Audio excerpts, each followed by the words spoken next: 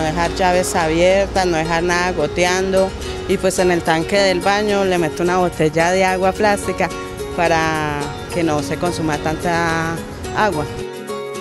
Para lavar la losa se abre poquitico, chorro.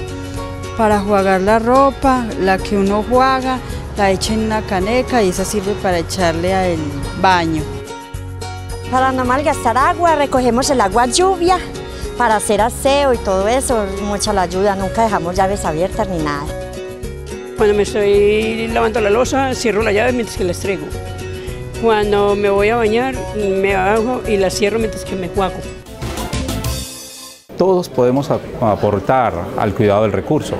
Eh, para cuidar el recurso desde el hogar, por ejemplo. No debemos dejar la, llave abierta mientras nos cepillamos, podemos hacer nuestro cepillado de dientes con un vaso que ahorra agua y no se desperdicia, podemos utilizar elementos sanitarios y duchas que sean ahorradores de agua.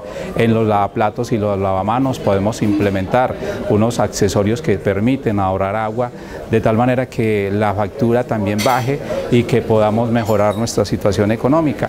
En el Día Mundial del Agua debemos evitar hacer quemas en bosques, en prados, en pastos para evitar la deforestación.